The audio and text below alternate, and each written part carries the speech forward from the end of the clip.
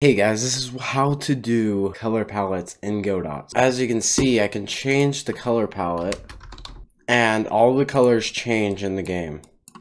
Everything updates. So, we're gonna go over how to do this.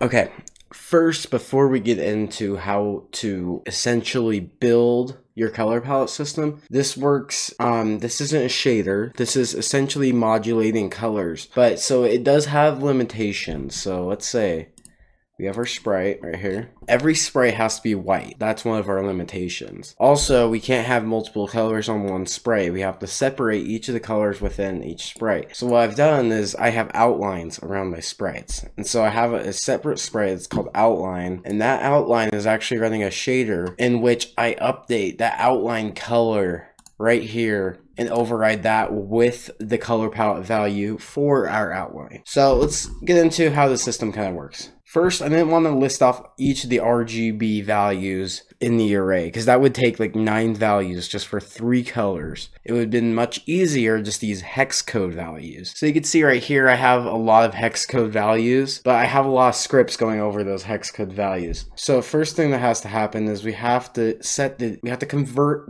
the color to a decimal color. The reason why we do this is because Godot only reads color values from 0 to 1, while normal color values we we always go 0 to 255. Well, I kind of find it strange that Godot uses 0 to 1, but I had to work with it. So I do here is I divide it by 255. Then we have to get the RGB values out of the hexadecimal. I had no idea how to do this. I found this online, so give me no credit for this. But essentially, you do a whole ton of this stuff. And essentially you get your red color by dividing the value by 65536, which I don't know why. Probably some like bit thing. I'm not good with colors. Then it gets the G value by using the R value and dividing by 256 and so on. And this is how we get our colors, but I'm going to go over even deeper how to import this into your project. So let's start an empty project. Okay, so essentially I have a test scene kind of laid out right now. Um, I just have a sprite in here. It's our car sprite. Let's get into it. Um, So essentially I'm using a singleton to control the colors. I found that very easy and useful to do because singletons go through each scene. So what we're going to do before we add the singleton we have to actually make the script. So I do new script and I'm going to call this, I don't know, global or you could call it color control controller. I don't know. And I'm to set the template as empty. And so now we can do is project settings, we auto load our color controller. Okay, so now it's auto loaded. Okay, so I set up a couple of variables here. We have our color main, and then we have a couple other variables, color outline, and color background. Then we set our current. So essentially up here, this is where we set up our color palettes. So now we're going to set up our RGB function first to get our RGB colors out of our hex string. So we're passing the parameter that we could set as hex string and we're sending it equal to string 0x, which is what Godot uses, what it does. And then we do hex to int. So fancy thing is when we're when we're creating our colors, we have to set the hex to an integer value. Then we can do the rest with it and convert it to a decimal value so we can actually use it. So Godot is very nice and has a built-in function function for that so we don't have to apply extra math to our project. Okay, now we're going to get our RGB values. So var r is equal to hex string divided by the weird number 65536. And then we're going to set our G value, which is green. We get hex string minus r times the weird number. I don't know what it is. 65536. Okay, now we're gonna get our blue value. And that blue value equals hex string minus the red color times 65536 minus G times 256. So if you want any idea how this code works, go talk to the guys on Stack Overflow who came up with this, or they found it somewhere else, I don't know. And then we're going to return our color value. This is very important because this is how we're going to get our colors out of these values. So we also need to set the one, which is our alpha value. So what was happening before is I was trying to set this up and I came into an error because I didn't do the alpha value. So make sure you have the alpha value set to one. Okay, so now we're going to have to convert to decimal. So we're gonna do our, that function next. function des. I'm just gonna call it des for short or decimal. So now go. I can actually read these values correctly. Return color value dot r divided by six five fifty. No, it's not six five five.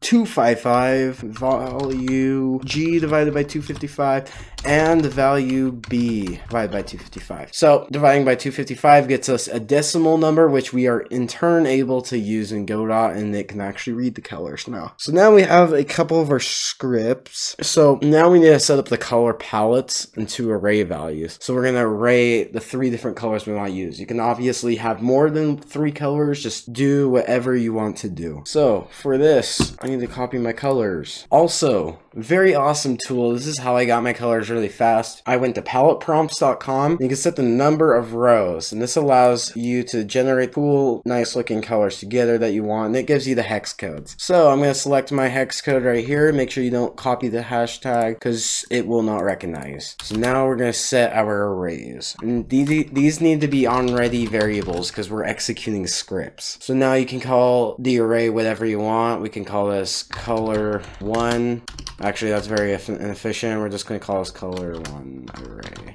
Okay, now we are going to specify our values. So what needs to happen is we need to convert to decimal after we get our RGB values out of the hex, which will in turn, this is our, oh, you see my mistake. I did RBG. I need to have RGB. There we go. Okay, so this is basically our outline. So I'm going to have that as the second color. The first array color is going to be our main color, which I'm going to make the brightest one, and then the background color will be the second brightest. So now we're going to do the same thing decimal out our RGB values. And now we put a comma in between those. And now we have our main color and an outline. Now we want the background value, so we did the exact same thing.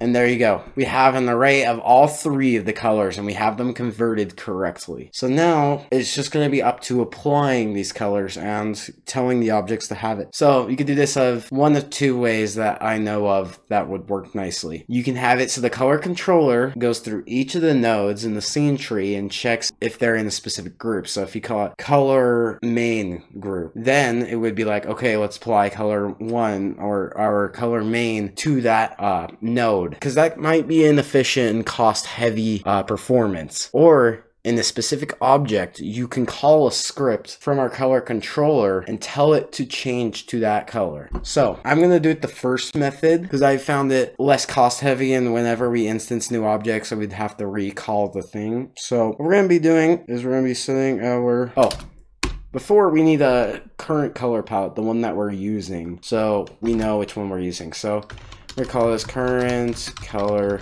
palette. And I'm going to set this to color 1. So, very important. I guess you can just use the entire variable name and then they'll be able to find it. We'll just go with that because that's easier. You could just say color 1 and then you could string the array. So you, you whenever you're checking, but we're just going to do array for now. Okay, first thing that we can do actually is setting the background color, which we can do straight inside of the color controller. So we're gonna make a function for that. Got functions for everything around here.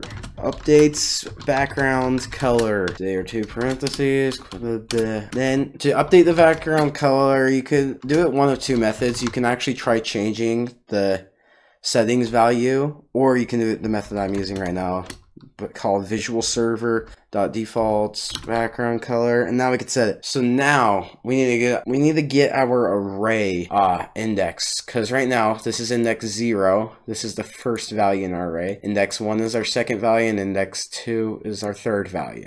So now we can reference this value by calling the getting the array index zero. So we're going to put this in a function because we can, and I think it'll be a lot easier than typing out everything. So we're going to put in another function, and we're going to call it gets palette array value.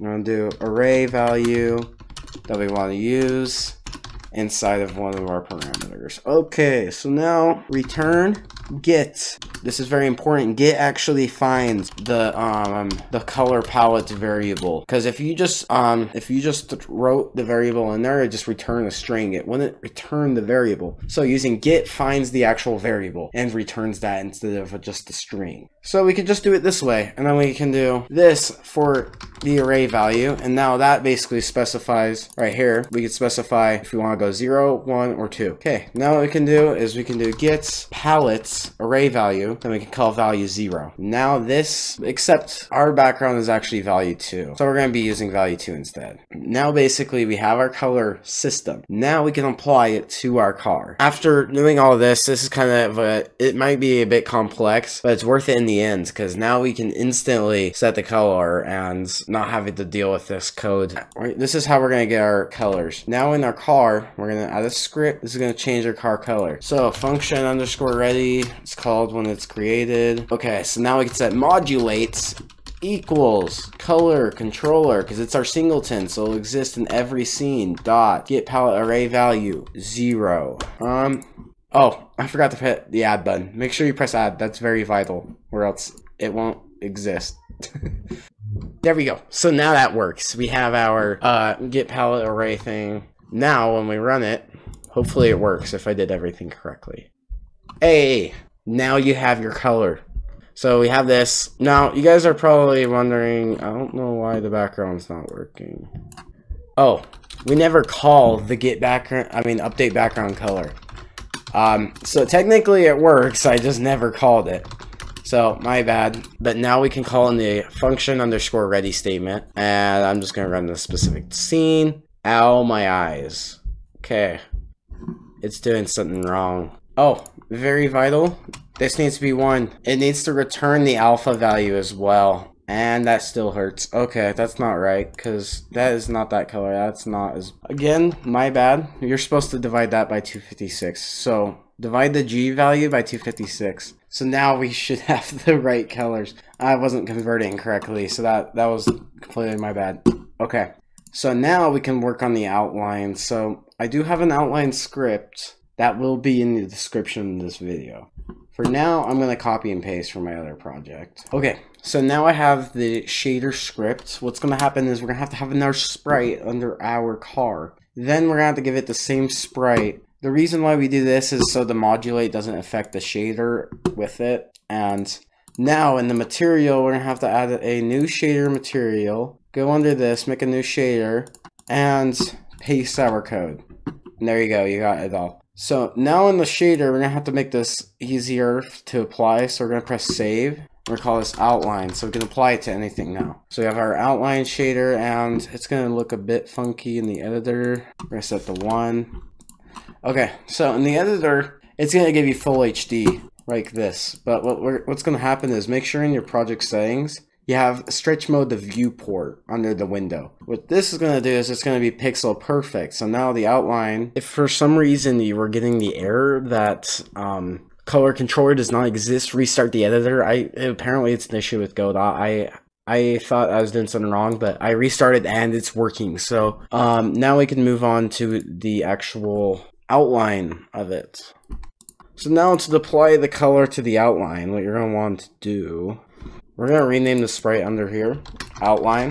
Now, to change the color of the outline, what we're going to want to do is enter down, then you're going to want to do a dollar sign outline dot, this is accessing the outline, get material, so we can get our actual outline material, which also allows us to get within the material set um, outline color. Now we can change this to our global, well not global, but our color controller, color outline. We're setting that shader paragram value of the outline color to our color controller out. So now, actually, what's happening here is we need to, actually, we're not setting it to these variables. I never use these variables. But if you want to make it easier to set the colors, what you can do is color, you could set color main equals, and then we can do uh, our get thing that we're doing down here, where we're getting our palette array value.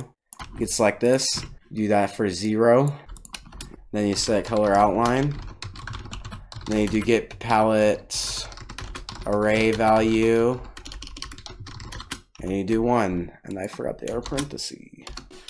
Then for color backgrounds, you can do the same. Equals get palette array value 2. So now instead of setting this to the palette array value, we can just set this to our color background variable.